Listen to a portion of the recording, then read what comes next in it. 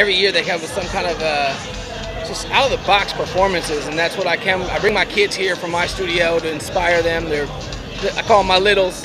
Thank you for keeping this rolling. I appreciate it. You're doing a great thing and keeping the foundation of hip hop and bringing people from all over the world here uh, to one location um, to inspire people. You know, not just to you know have a good time and show people what hip hop's all about, but to inspire the kids. That's that's our mission. As we had our time back in the day, you know, so now it's time to pass the buck and uh, excited to you know Absolutely. keep it rolling. I love you, girl.